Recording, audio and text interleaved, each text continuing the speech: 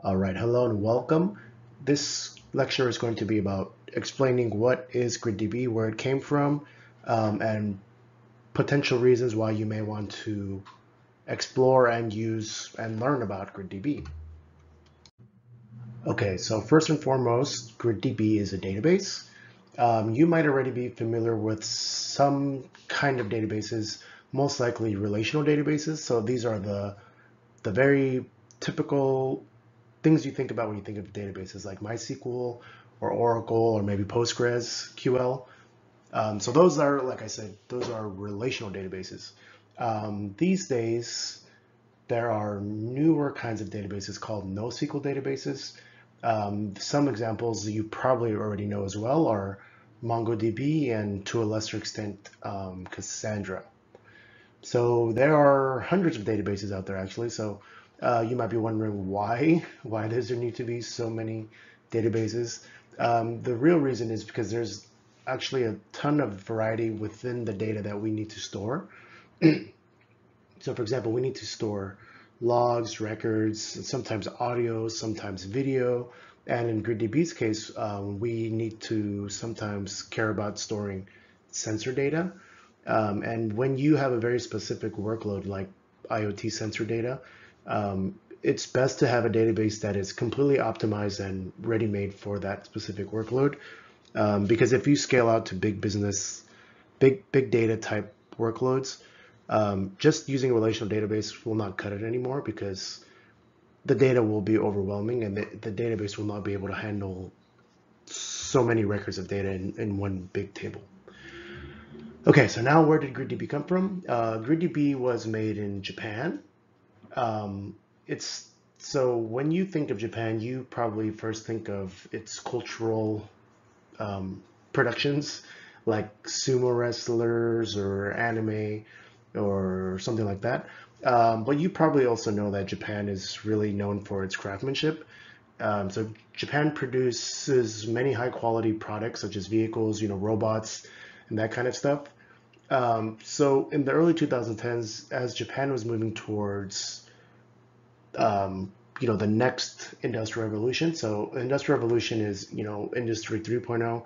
Um, so now we're moving on to the the fourth industrial revolution. Um, many Japanese manufacturers started to think about how to improve the conventional process of the Internet of Things. Um, so through different kind of sensors, more and more data was being collected. And as stated before, when you have different kind of workloads, it's better to have a very specific database which can handle that. Um, so because Toshiba Digital Solutions is a sy system integrator, um, they saw this as an opportunity to create what is now called GridDB.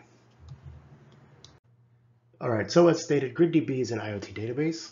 Um, so from the get-go, many of Toshiba's customers um, came from the manufacturing and social infrastructure sectors, where IoT devices have become more and more prevalent as the years have gone on.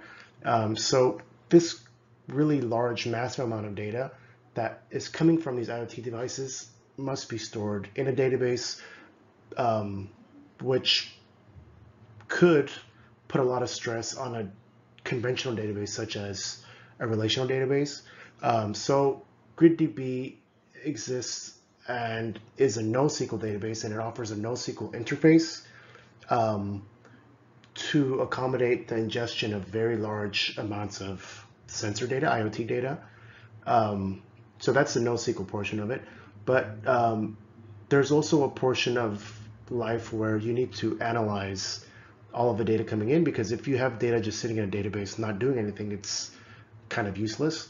Um, you also need to analyze and visualize this data um, to provide some kind of business insight or business, um, yeah, business insights.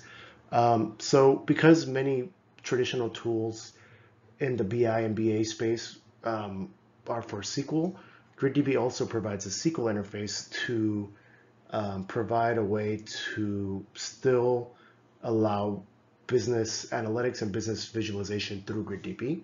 Um, yeah, so basically what I mean to say is GridDB allows NoSQL interface to ingest large data and also provides a SQL interface. So you can still run SQL query commands and you can still use JDBC and SQL and stuff like that for your traditional BI tools like Power BI, for example. All right, and here now we see what um, is the GridDB data model. So the GridDB data model is what is called a key container data model. Um, you can see it on the rightmost here in this slide. Um, basically, you have a key, um, which could be, um, you know, how, how you would describe the, the data in there.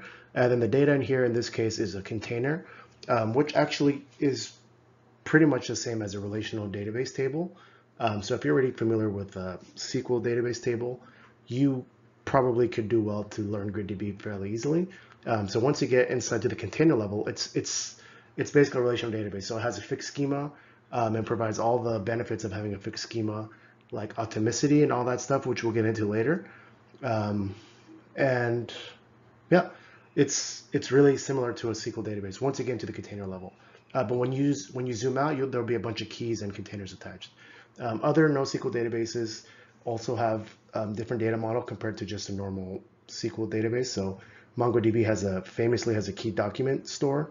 Um, so MongoDB is really uh, flexible and really easy to make spin up new apps because um, you have a key, then you have the document is unstructured data. So you can easily make a new key and a new data store on the fly because there's no structure. Um, but that has its own downsides, which we will probably talk about later in this course. All right, and the last point I want to talk about here is um, how GridDB stores its IoT data. Um, so you can see here, these are, this is a zoom into the key container data model. Um, so once you get a key, then you have a container, like I said. Uh, but there are two types of container possible choices here.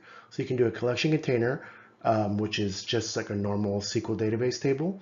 Um, so the key can be anything, or the row key can be anything. So here in the example, it's just the ID name, a string. So equip, equipment 001, equipment 002, etc. Uh, but the interesting one is the time series container. Um, so this one has a timestamp as a row key, and with it, it comes with special time series functionality in this container. So it has special time series um, features and partitioning and, and lots of other cool features. Um, so this kind of stuff we'll go over more in depth later as the course goes on, as it's very important to GridDB and what makes it a good IoT database.